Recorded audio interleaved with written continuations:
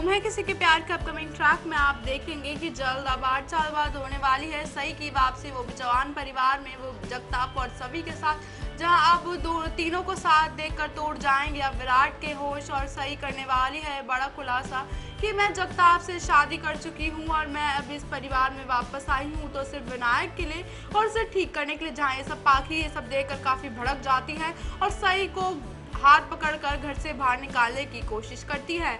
वहीं अब देखना काफ़ी दिलचस्प होगा। सही के आठ साल वापसी से अब कौन सा नया तूफ़ान आता है? अब चौहान परिवार में देखना काफ़ी इंटरेस्टिंग होगा कि क्या होगा आगे वाली कहानी में। हम तो काफ़ी ज़्यादा एक्साइटेड हैं इस एपिसोड को देखने के लिए। आप कितने एक्साइटेड हैं? कमेंट करके ज़रूर बताएँ।